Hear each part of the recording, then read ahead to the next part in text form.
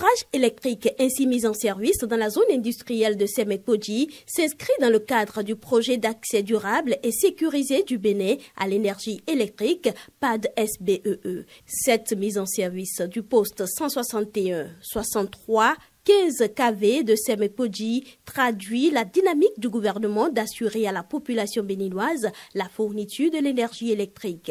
Ce poste de transformation électrique a pour but ont pour objectif de stimuler le développement de la zone industrielle de Séné en lui fournissant une énergie électrique fiable, stable et de qualité. Ce poste sera essentiellement dédié pour la partie moyenne tension à l'alimentation des clients actuels et futurs de la zone franche industrielle de Séné.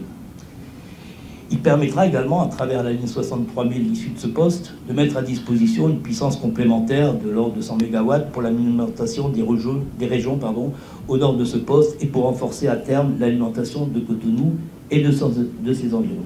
Le ministre de l'Énergie, de l'Eau et des Mines appelle à l'entretien de l'infrastructure et fait une annonce au sujet de la production du pétrole au Bénin. je voudrais donc exhorter la SBDE, la CEB, à pouvoir entretenir et gérer convenablement ces infrastructures afin que nos compatriotes, où qu'ils se trouvent, puissent avoir accès à de l'énergie de qualité.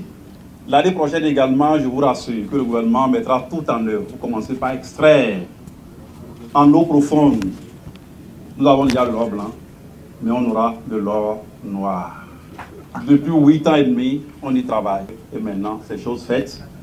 L'année prochaine, par la grâce de Dieu, nous allons commencer également par être un pays exportateur, producteur, puis exportateur du pétrole. En procédant à la mise en service du poste de transformation électrique, le ministre d'État chargé du développement et de la coordination de l'action gouvernementale est revenu sur les avantages de l'ouvrage réalisé par le groupe Vinci Énergie pour le Bénin. Ce projet alimente et a commencé par alimenter déjà depuis quelques mois Claude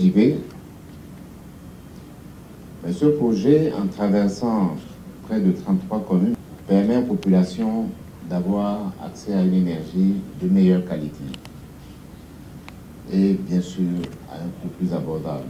À la suite de cette inauguration, il a été procédé à la remise des clés de huit véhicules pick-up à la SBEE e afin de lui faciliter l'entretien et les interventions de dépannage de l'infrastructure.